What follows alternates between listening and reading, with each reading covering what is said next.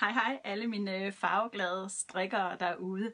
I dag der er jeg gået live for at fortælle øh, om min nyeste strikkebog. Det her det er min øh, fjerde bog, og den udkommer på fredag. Glæder mig helt vildt. Og jeg har tænkt mig sådan her i løbet af ugen og op til den udkommer, og også lidt efter den er udkommet, ligesom at gennemgå de modeller, der er i. Der er seks modeller i, og bogen den koster bare 89 kroner som øh, trykversion, og 69 kroner som e-bog. Og den kan altså købes fra på fredag hos ePublish, og der er link oven over videoen her. Og øh, hvad hedder det? Den model, jeg vil gennemgå i dag, den hedder Leias fineste kjole. Og det er den, af min datter har på lige her. Det er Leia.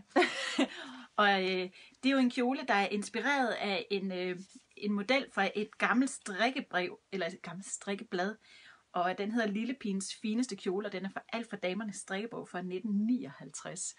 Og nu vil jeg ønske, at jeg lige kunne sige, at jeg kan lige trække hæftet frem og lige finde det frem. Det er bare sådan, at jeg har kørt alle mine øh, gamle strikkehæfter, dem har jeg kørt på lager. Tusind tak, Elisabeth. Hvor er det sødt af dig at sige, den er flot. Det synes jeg jo også.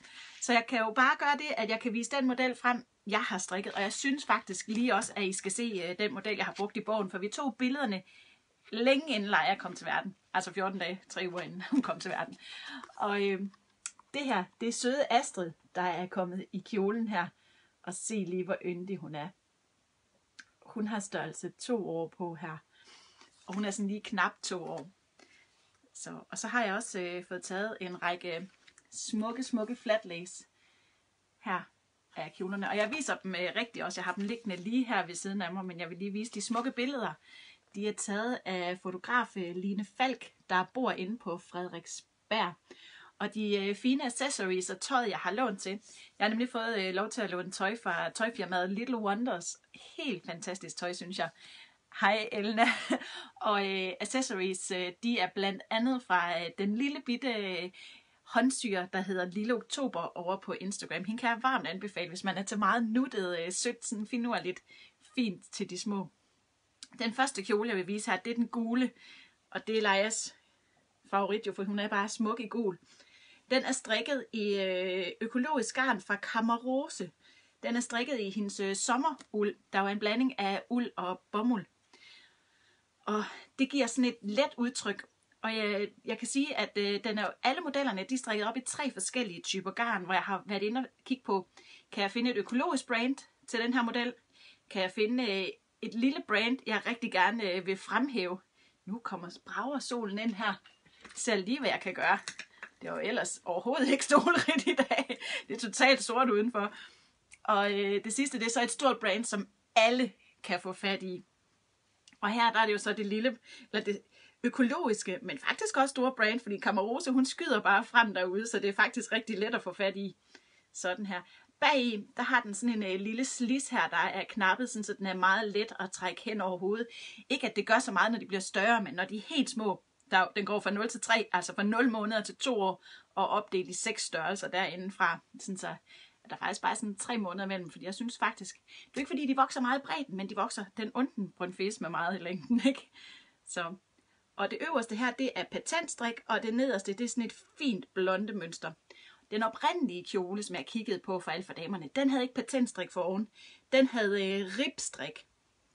Men fordi lige da jeg... Øh, lige da jeg gik i gang med modellen her, der havde jeg lige været ude og undervise i patentstrik, og jeg synes bare, det skal sgu da være patent.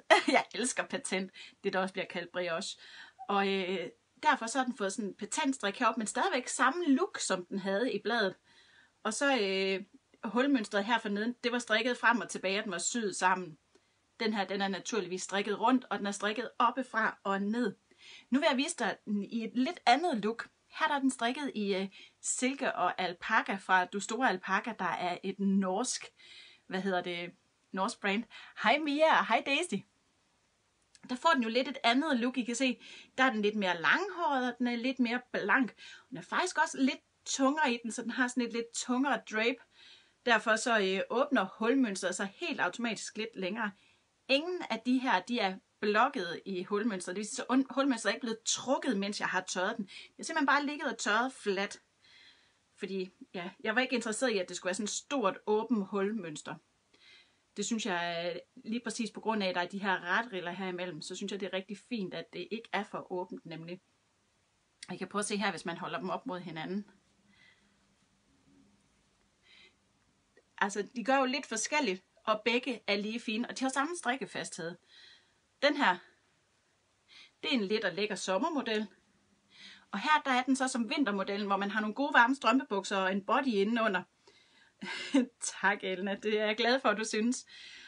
Og jeg synes jo, det er vigtigt at have en garderobe, der spænder fra både sommer og vinter. Jeg skal indrømme, Leia, hun havde ikke den her på i sommersvæl. Hun havde bare blæ på. Det var jo mega varmt. Jeg tror faktisk ikke, hun brugte tøj i tre måneder. Så det var godt, vi købte alt det tøj. Jeg har den i en sommerversion mere øh, fra Hjertegarn. Her der er det øh, Organic Trio, så det er jo faktisk et økologisk mærke mere, men Hjertegarn er jo ret store i Danmark, så derfor så er det mit store brand, og at den så også var økologisk, det synes jeg jo bare var et, øh, et plus, og man går op i økologi eller ej, det er jo fuldstændig ligegyldigt. Det jeg ligger op til, det er, at man stort set kan strikke det, man har lyst til, og jeg viser så tre forskellige. Og prøv at se, silken her, den gør jo i forhold til den her, der var bomuld og uld. Her der er det bomuld og silke. Så gør den jo ligesom, at øh, både at den får det der lidt de der hvide nistre, som det altid vil få, når man farver oven på silke. Og det her det er den største version, skal jeg også lige sige. Det er størrelse to år, det er det her, ikke det størrelse et år. Så der er jo lidt forskel på dem. Øh, så er den her faktisk lidt mere sommerlig end den her. Så man kunne sige, at den her den kunne faktisk også gå for og efterår. Og så den her, den er meget mere let til om sommeren. Og faktisk så har jeg en idé om at øh, få den strikket op i hør også. Jeg tror, jeg vil prøve at strikke den op i øh, Donlin.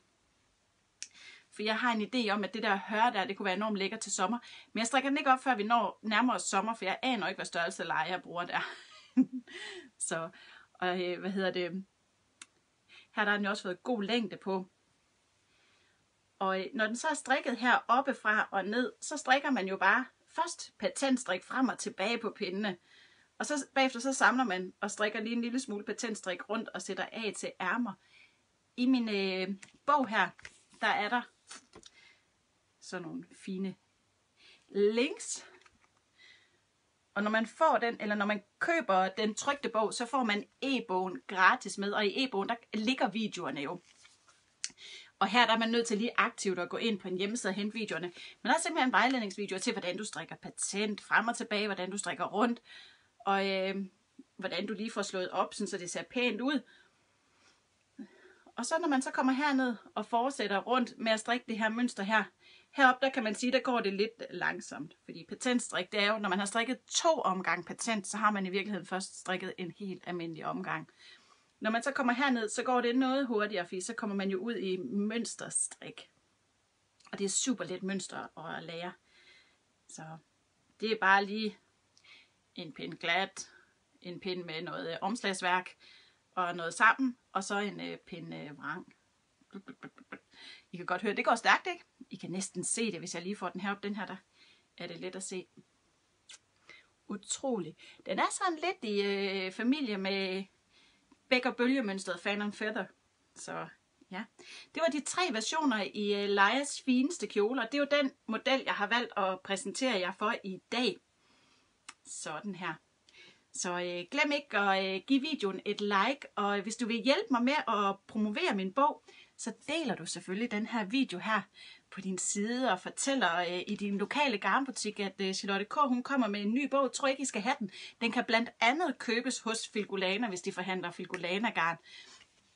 Øh, der er, lige nu der er der ikke andre af de her garnforhandlere her, der har købt den ind, fordi det er ikke så tit forhandlerne, altså garngrossisterne køber bøger ind, men de kan købe den hos ePublish. Og de kan jo altid bare lige spørge mig, og så sender jeg dem videre til ePublish. Så det vil være en kæmpe, kæmpe stor hjælp, hvis du vil hjælpe mig med at promovere min nyeste bog, den fjerde i rækken. Og der er som sagt seks opskrifter i til 89 kroner, og alle opskrifter er gradueret i fire størrelser. Og det er beklædning det hele. Så 0-3 måneder, 3-6 måneder, 6-9 måneder, 9-12 måneder, 12-18 og 18-24. Se ham her, ham har jeg tegnet. Eller hende her. Det er jo en unisex baby. Så, og her der kan man også se lidt.